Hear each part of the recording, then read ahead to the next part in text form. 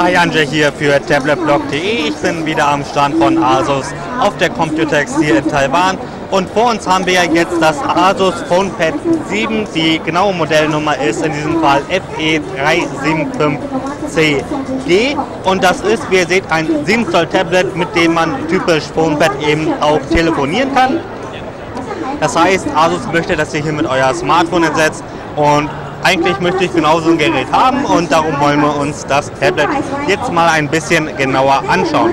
Erstmal, wir haben hier ein 7 Zoll großes IPS-Display. Das hat eine Auflösung von 1280 x 800 Pixel. Sieht auch ziemlich schick aus.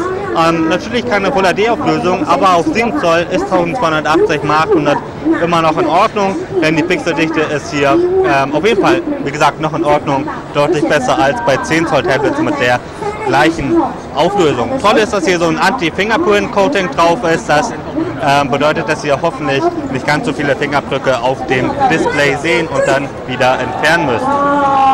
Hier drin steckt jetzt ein Intel Atom Z3560 Quad-Core-Prozessor, der bei bis zu 1,83 GHz taktet. Den haben wir schon in einigen Tablets von Asus gesehen, wie beispielsweise dem MemoPad 7.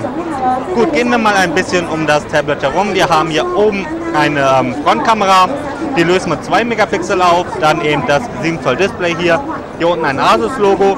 Oben und unten sind jeweils Lautsprecher, aber natürlich auch der ähm, normale Kopfhörer, denn man soll damit ja auch telefonieren können.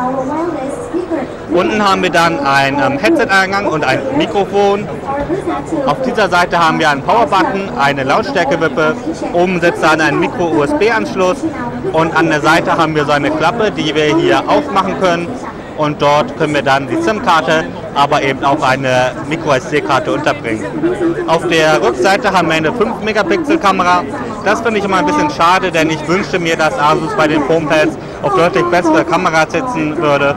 Okay, der Preis wird hier sehr niedrig sein, aber trotzdem, wenn man ein Handy mit einem Tablet ersetzt, dann braucht man hinten eine gute Kamera und am liebsten mit einem LED-Blitz dazu. Sonst gefällt mir die Rückseite hier ausgesprochen gut. Ich hatte eben nochmal das MemoPad ähm, 8 in der Hand und das eine große Rückseite hatte. Das hier ist so eine ähm, ja, so eine eher weiche Kunststoffrückseite, erinnert mich ein bisschen an das Google Nexus 7, das aktuelle, das ja auch von Asus produziert wird. Und das fühlt sich auf jeden Fall ähm, gut an, nicht nach billigem Plastik und man sieht eben auch Fingerabdrücke nicht so einfach. Hier drauf läuft natürlich Android 4.4 äh, KitKat, wie auf allen aktuellen Tablets, die Asus hier vorstellt. Und wie immer wurde das so ein bisschen angepasst. Wir haben hier diese vereinte Benachrichtigungs- und Einstellungsleiste und eben die klassischen Apps von Asus wie Supernote und so weiter, die sind alle hier ähm, vorinstalliert. Sonst haben wir hier drin noch 1 GB Arbeitsspeicher und je nach Version 8 GB bis 16 GB internen Speicher. Die günstigste Version kommt dann natürlich mit 8 GB.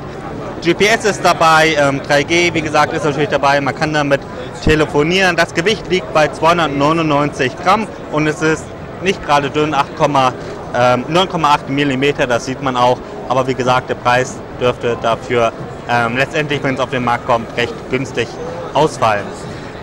Das ist ein schnelles Hands-on mit dem Asus PhonePad 7 FE375CG. Ich bin André für tabletblog.de. Vielen Dank fürs Zusehen.